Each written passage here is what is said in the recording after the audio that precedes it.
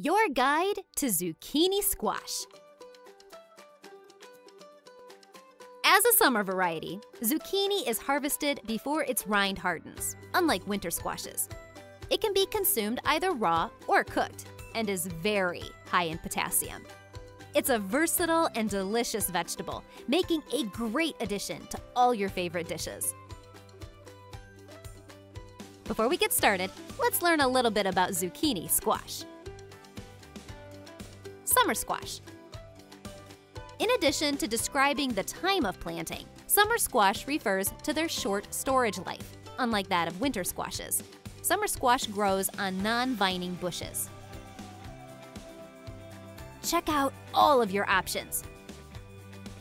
Zucchini open pollinated.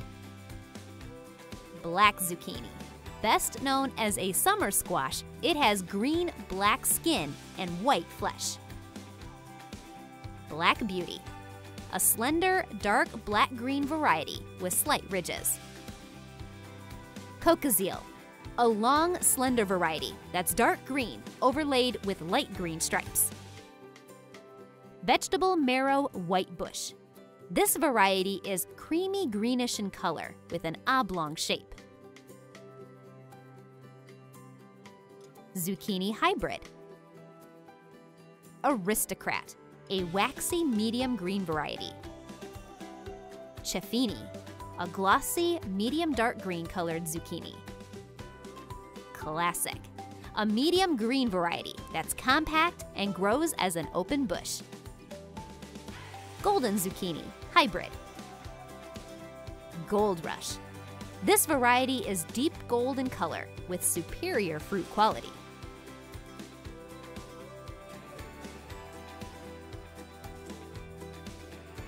Transplanting is possible, but direct seeding is best when starting squash.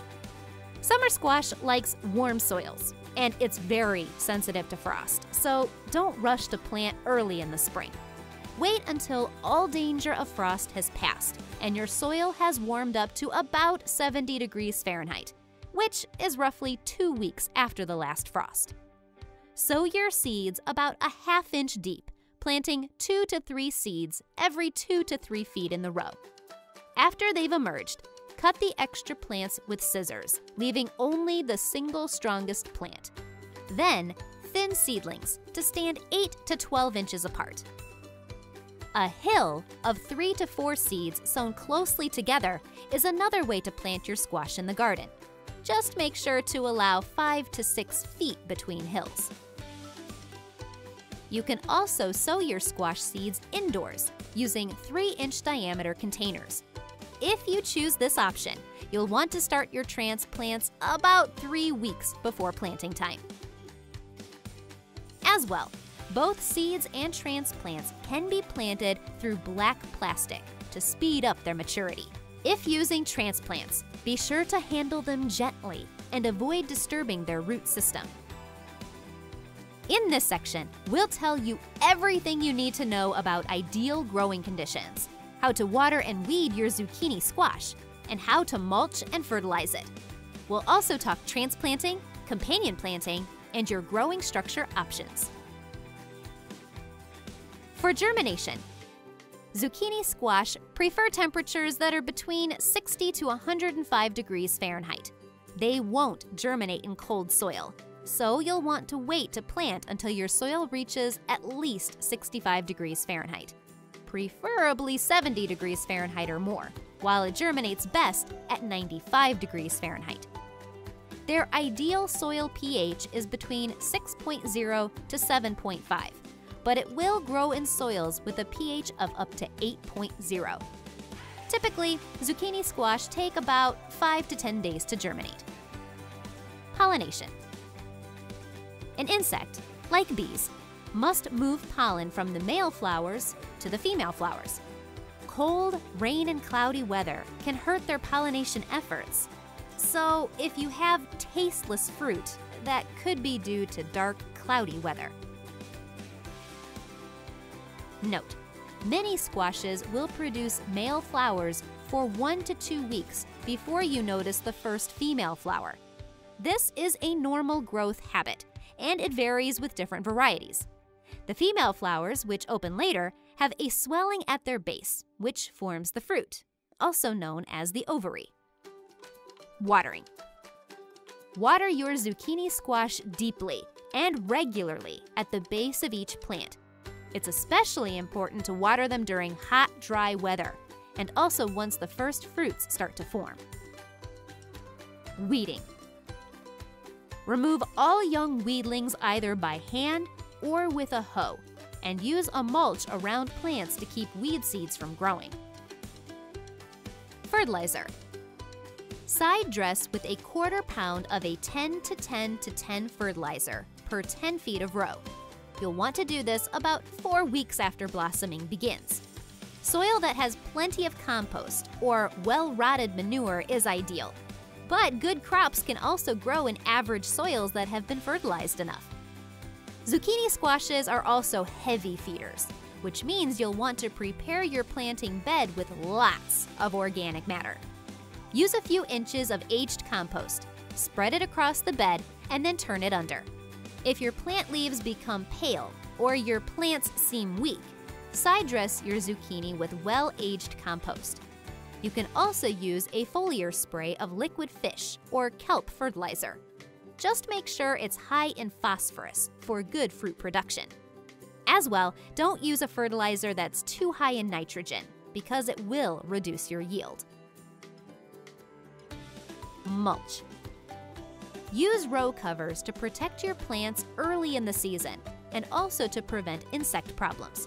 Be sure to remove this cover before flowering so that bees can pollinate your plants.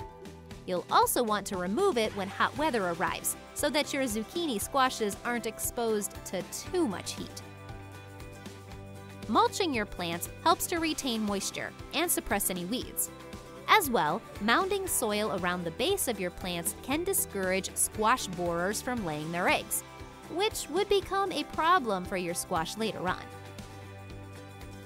Transplanting best practices. Before you transplant, make sure to harden off your seedlings by cutting back on their water and reducing their temperature. Then set them outside for a few hours each day, keeping them sheltered at first. This helps to prepare them for outside living, reducing the risk of transplant shock and stress. Companion plants do's and don'ts. Do's. Radishes are good companion plants for zucchini, as radishes help repel common zucchini pests like aphids, squash bugs, cucumber beetles, and more. As well, a few garlic plants tucked among your zucchini can help keep aphids and other pests in check. Since zucchini plants are heavy feeders, legumes like beans and peas are beneficial because their roots fix nitrogen in the soil. Herbs like peppermint, dill, mint, parsley, and oregano are also great companions for your zucchini. Don'ts. Avoid planting your zucchini with the following vegetables potatoes, broccoli, Brussels sprouts, cabbage, cauliflower, collard, kale, kohlrabi, and sweet potato. Growing structure options. Raised beds. These ensure good water drainage, which your zucchini crops need. Ideally, their soil should be able to retain moisture while also having ample drainage, so raised beds are a great option. Outdoor containers. Zucchinis need large containers to accommodate them, as well as frequent watering. Containers for transplants. In general, 3 inch diameter containers will work for growing your transplants. Biodegradable pots. These can be set directly into the ground at planting time, which avoids disturbing the roots of your plant. Plastic mulch covers. Earlier planting is possible if you use black plastic mulch, which raises the soil temperature since the black color of the mulch will also absorb heat from the sun. Apply black mulch after you prepare your soil in the spring. Simply cut holes or slits in the mulch, then plant your seeds. After seedlings have emerged, position some row covers over your plants, securing the edges with soil or staples. Spun row covers. They raise the air temperature around your plants and protect them from cold nights. Row covers also keep away insects. the bad and the good. So once your squash starts to flower, be sure to remove these covers so that bees and other beneficial insects can pollinate your plants. There are a number of pests and diseases that can potentially harm your zucchini squash. Potential pests Aphids. These tiny pests come in a variety of colors green, black, red, light orange, or yellow, and mainly feed on the undersides of leaves and stems. What they're actually feeding on is the sap in plants, which ends up causing the plants damage. Aphids also leave behind a sticky substance called honeydew, and they are a pest that's known to spread diseases. Aphids can be tolerated by most plants when their numbers are low, but if there's a lot of aphids, they can stunt a plant's growth and cause a plant's leaves to turn yellow and fall off. Here's what to do. The most part, plants can handle mild aphid infestations. But if they're found, a strong jet of water from a garden hose will wash them off the plants. Spraying plants with water should be done early in the morning so that the plants can dry off during the day. Sticky traps, neem oil, insecticidal soaps, and horticultural oils are also effective against aphids. Just be sure to follow the application instructions on the packaging. Oftentimes, you can also get rid of aphids by wiping or spraying the leaves with a mild solution of water and a few drops of dish soap. One variation includes adding a pinch of cayenne pepper. Soapy water should be reapplied every two to three days, or about two weeks. As well, you can try to attract beneficial insects like lady beetles, hoverflies, and lacewings, all of which are important aphid predators. Make sure to check all transplants for aphids before planting. And keep in mind that aphids aren't very mobile, so it's not uncommon to find one heavily affected plant surrounded by plants that are fine. If this is the case, simply remove and destroy the infected plant.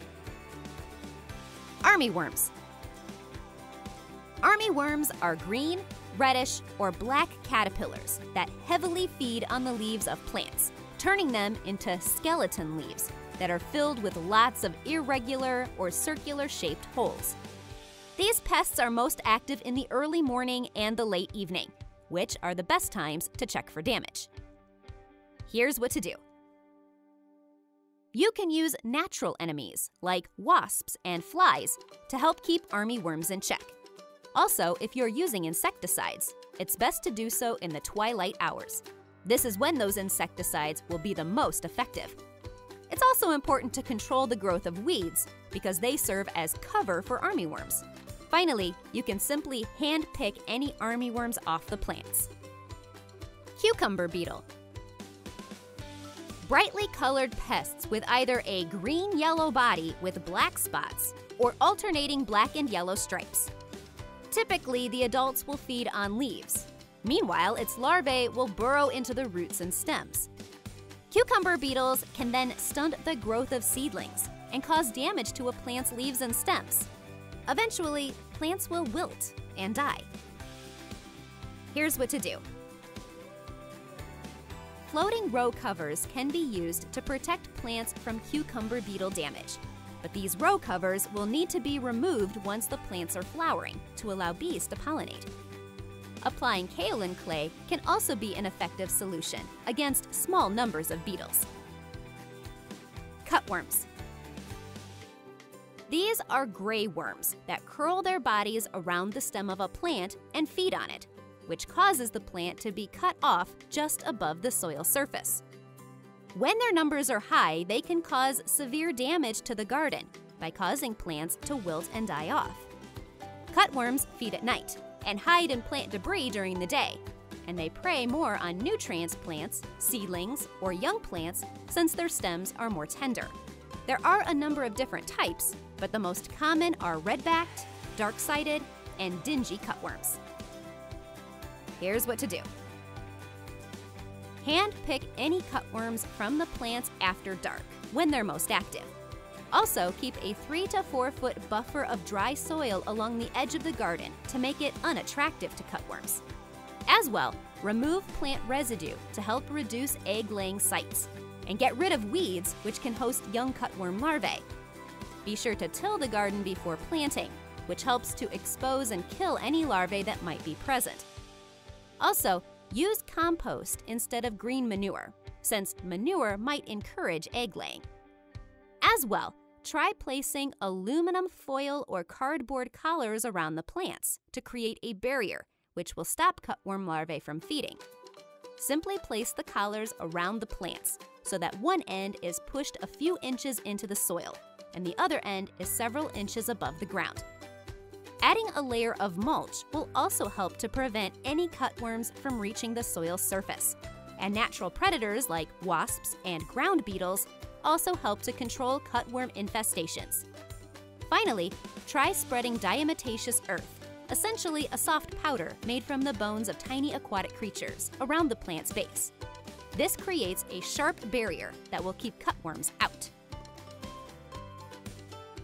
Flea beetles. Small beetles that are either black, a blue color, bronze, gray, or sometimes striped. Flea beetles jump when they're disturbed, and they also shimmer in the light. Flea beetles feed on leaves and seedlings, and the damage from their feeding habits can stunt a plant's growth, reduce yields, spread diseases, or kill seedlings off entirely. Young plants are especially vulnerable, while older plants can survive an infestation much better. Here's what to do. Use a lightweight floating row cover at the beginning of the season to prevent flea beetles from becoming an issue. There's also a homemade spray that uses 2 cups of rubbing alcohol, 5 cups of water, and 1 tablespoon of liquid soap that can work to repel these bugs. Test out this mixture on a single leaf first. Let it sit overnight, then spray the rest of the plant if there aren't any side effects. Dusting plants with plain talcum powder can also help, as well as using white sticky traps to capture these pests as they jump. As well, weeds attract and shelter flea beetles, so it's important to keep weed growth under control. Insecticides might help for about a week, but they'll need to be reapplied. And adding a layer of mulch is yet another option. Be sure to practice crop rotation and plant seeds early to give them lots of time to establish themselves before the beetles become a problem. Mature plants are less susceptible to damage, so make sure to protect more vulnerable seedlings. Squash bugs. These pests cause leaves to turn speckled, yellow, and brown. Plants that are affected by squash bugs will wilt. The plant's runners will die back, and the squash fruit can either become spotted or it dies off entirely. Here's what to do. Destroy all crop residue as soon as possible, either after harvest or after a plant dies. Also, apply row covers when planting, and use insecticidal soap whiteflies. These pests are known for their white bodies and wings, and for hanging out on the undersides of leaves.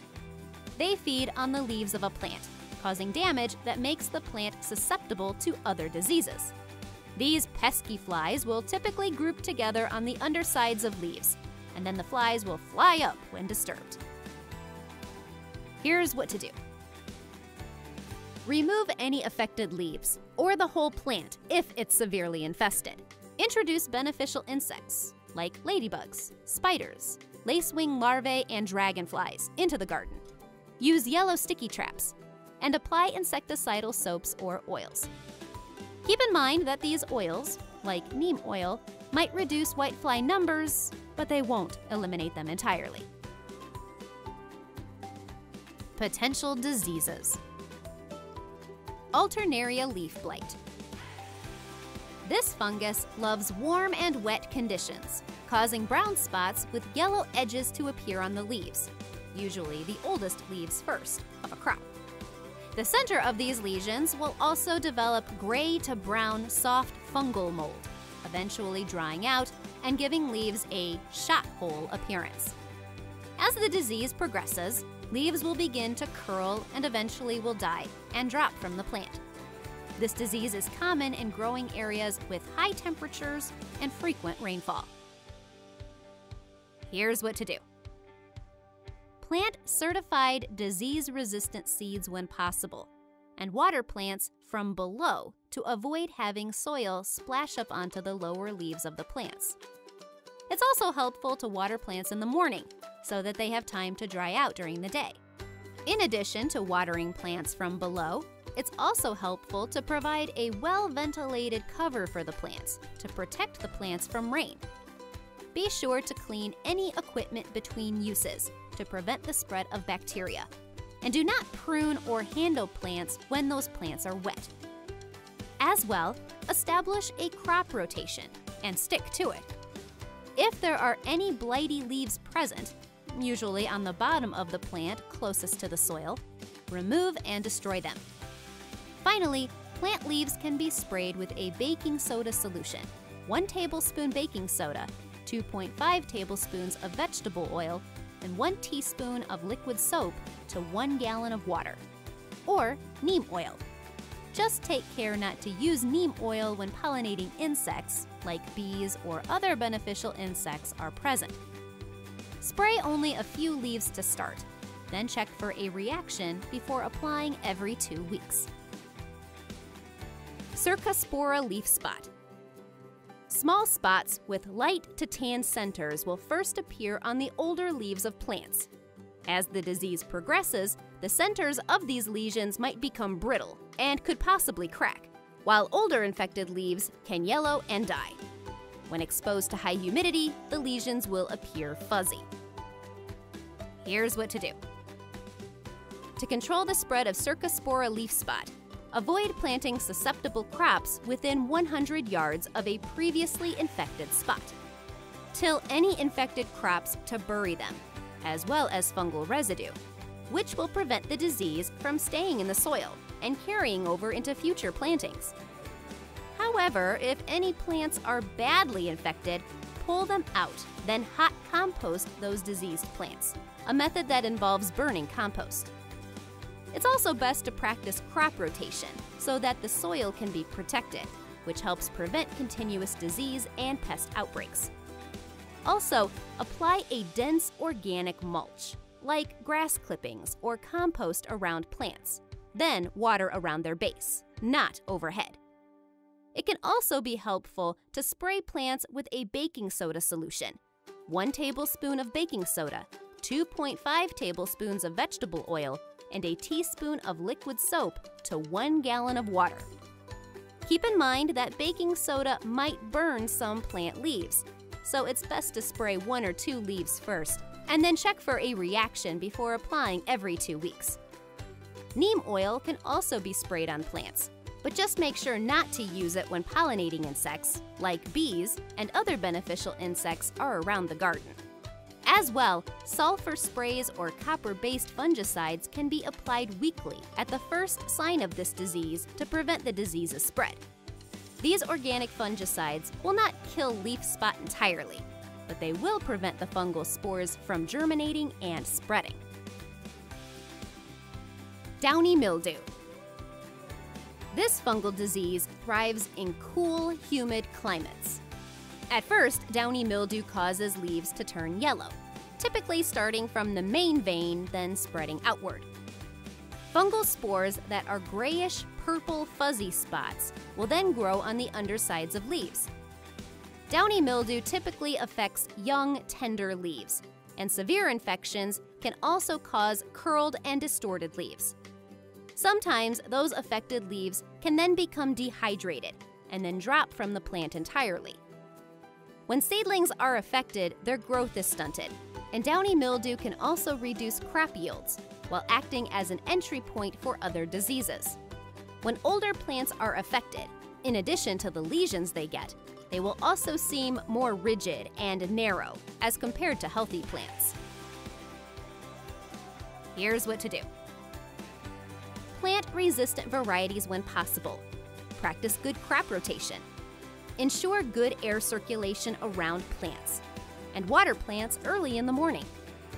This last tip gives the plants enough time to dry out during the day, making those plants less vulnerable to infection. Downy mildew is usually spread when leaves are wet for too long, so it also helps to avoid overhead watering. As well, be sure to keep weeds from growing. Once plants have downy mildew, the best thing to try is to eliminate moisture and humidity around the infected plants. If possible, try to improve their air circulation through selective pruning. In general, downy mildew normally clears itself up in an outdoor garden once the weather warms up, since it doesn't do well in warm temperatures. Also, if there are any infected plants, be sure to remove all crop remains after harvest to avoid reinfection, since this fungus can survive in crop residue. Keep in mind too that downy mildew is much easier to control when a plant's leaves and fruit are kept protected by a copper spray. Copper treatments can begin two weeks before the disease normally appears and when a long period of wet weather is in store. Copper treatments can also start when the disease first appears. Then those treatments can be repeated at 7 to 10 day intervals for as long as the treatments are needed. Fusarium crown and foot rot. The wilting of leaves eventually progresses to the wilting of your entire plant, which then dies within a few days. When an infected plant is uprooted, it will have a distinct brown rot on the crown and roots. As well, plants will break easily below the soil line. Here's what to do. Plant resistant varieties when possible. Fusarium thrives in hot temperatures when the soil moisture is low, so because of this, make sure to keep your soil evenly moist, especially in the hottest months of the season. Try to do so without flooding your garden, which can create a breeding ground for other diseases and pests. Solarizing any affected soil can also help to kill off this fungus. Simply cover the affected soil with black plastic and leave it undisturbed during the warm season.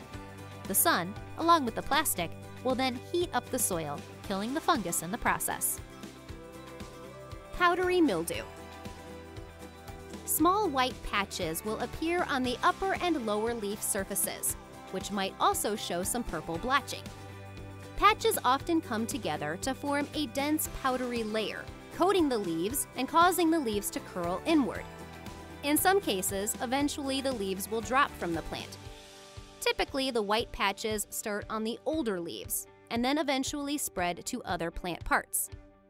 Powdery mildew is brought on by high humidity and moderate temperatures, 60 to 80 degrees Fahrenheit, or 16 to 27 degrees Celsius, with symptoms becoming most severe in shaded areas. As well, this disease often acts as an entry point for other pests and diseases. Here's what to do. First, Rotate crops so that members of the same family aren't planted in the same spot year after year. In general, a three-year rotation is a good place to start. Plant disease-resistant varieties when possible, and then provide good air circulation by not crowding the plants and by eliminating weeds. Water plants in the morning to give them enough time to dry out, taking care not to get the plant's leaves wet. Consider spraying infected plants with certain protectant, preventative fungicides. Sulfur, lime sulfur, neem oil, and potassium bicarbonate are all effective. But these remedies will work best when they are used before the infection happens, or when signs of the disease are first spotted. Instead of chemical fungicides, plants can also be sprayed with a bicarbonate solution by simply mixing one teaspoon of baking soda in one quart of water. Make sure to spray the plants thoroughly, since the solution will only kill fungi that it comes into contact with.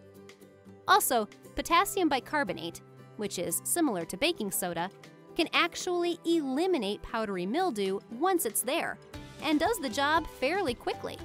As well, after the growing season, make sure to dispose of any infected leaves or fruit. Once plants are heavily infected with powdery mildew, it's difficult to get rid of the disease, so focus on preventing it from spreading to other plants.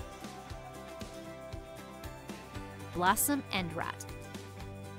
Symptoms will first appear on immature fruits, as small light brown spots close to the blossom end of the fruit. As the fruit grows, the spots enlarge, turning into dark, leathery lesions that are sunken into the fruit. Here's what to do. Maintain consistent watering and keep your soil evenly moist. Mulch your plants to help them retain water. Straw or black plastic will do the trick. Excess nitrogen also causes blossom end rot on zucchini squash because it blocks the absorption of calcium. As a result, you'll want to avoid high nitrogen fertilizers as well as ammonia fertilizers, like fresh manure. If your plant is already showing signs of end rot in its early fruiting phase, you might have to add calcium into the soil. Keep in mind, though, that calcium isn't taken in well by the leaves, so avoid using a foliar spray.